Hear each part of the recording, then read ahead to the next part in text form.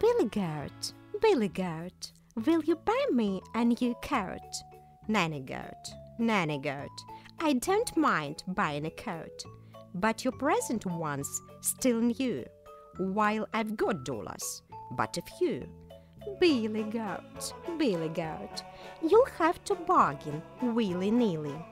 Otherwise, I'll find the one ready to purchase a cardigan, a mink stole, a silk dress, and if he proposes, I would say yes.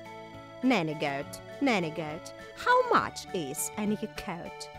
It will cost you a good deal.